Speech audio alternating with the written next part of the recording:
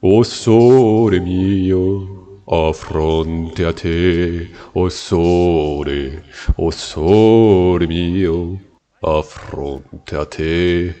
Oh quoi C'est bon, on peut se détendre un peu. Hiver moins 39. Des rapports m'ont été envoyés. Une armée du royaume de Palmyre a fait irruption dans la province de Syria pour y prendre Tyro. Je demande immédiatement à Lucius Antoine de s'y rendre et de défendre la ville. C'est une tâche bien difficile. Hein. Il n'a pas vraiment le temps de recruter une armée et il doit faire avec quelques troupes de mercenaires locaux sur chameau. C'est ainsi qu'il mena une bataille contre 2840 hommes alors qu'il n'en avait que 1740. Si nous gagnons cette bataille, cela prouvera à Palmyre et au monde entier à quel point la puissance de Rome est grande. Mais si nous la perdons, la province de Syria ne sera plus sous notre entier contrôle. Et cela mettra à mal nos revenus, nos taxes et notre autorité dans cette région. Sur le parchemin qui m'a été envoyé pour faire rapport de la bataille, je lis qu'apparemment leur général s'est cru un peu trop fort et a foncé seul. Je suppose qu'il s'agit d'une stratégie orientale que je ne connais pas. Quoi qu'il en soit, à partir de là, l'armée étant désorganisée, il a fait jouer ses unités montées et foncer sur les frondeurs ennemis. Entre la mort de son général et de ses unités de soutien à distance, l'armée ennemie avait le moral bien faible. Et, en envoyant simplement l'infanterie au corps à corps, ils ont été mis en déroute. Bien joué à lui. Toutefois, nous ne laisserons pas cela impuni. J'envoie ma quatrième légion sur Palmyre pour annexer la ville. Il devrait arriver d'ici quelques mois.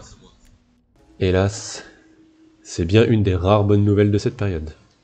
Cléopâtre fut tuée lors d'une bataille contre la Judée. Mais comment c'est possible? Ils ont une puissance au moins 3 à 5 fois supérieure que... Myanmar, tu me manqueras. Non, pas tant que ça en fait. Car je fête mon mariage avec... Avec... Euh... Oh, je sais pas trop.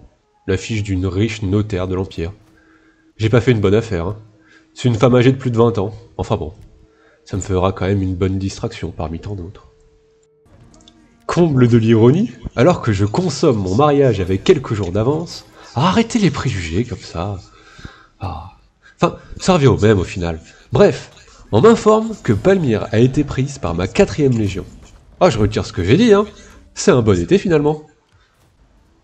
Dans un dernier espoir, le roi recrute quelques mercenaires pour essayer de reprendre la ville, mais en vain. Ma quatrième légion la tiendra assez facilement apparemment, et on n'entendit plus jamais parler du roi de Palmyre. En fait, si, on se souvient du roi de Palmyre comme l'abruti ayant foncé seul dans une bataille et qui a laissé ses terres à la merci de l'ennemi, laissant en place un empereur, moi, qui ferait tout pour le bonheur de son peuple. Ah, la manipulation, y'a que ça vrai, hein. Une année presque complète passa sans embûches, jusqu'au printemps moins 38. Sans avoir été prévenu, d'ailleurs je vais faire fouetter quelques-uns de mes espions pour ça, hein, une flotte de Pompée prit d'assaut la ville d'Apollina. ah, il le regretta vite, hein. Presque toutes ses troupes touchèrent la mer par le fond avant d'avoir atteint les côtes. Oh, il me resta plus qu'à cueillir le reste sur le rivage. J'en ai même profité pour ramener quelques coquillages. Un des partis politiques rival avec le mien le conseil des patriciens. Et nous, nous entendons très mal. Toujours à me contredire, toujours à contredire mes méthodes. Ouais, Cléopâtre, gna ouais, les villes, gna ouais, les barbares, gna Oh, j'en ai marre, un bout. Bon, j'ai décidé de leur en faire baver et de forcer une sécession de leur part. Eh ben, croyez-moi ou non, ça marcha merveilleusement bien. La province de Syria se révolta en moins d'un trimestre. Hélas, ça n'a pas été si facile.